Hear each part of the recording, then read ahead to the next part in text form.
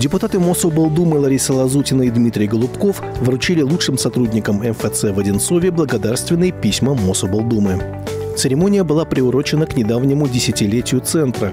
Помимо парламентариев, в ней также приняли участие местные активисты «Единой России».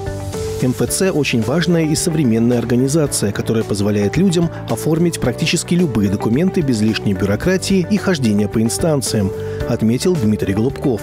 За 10 лет количество услуг, предоставляемых Одинцовским многофункциональным центром, выросло с 47 до 358. И это не предел.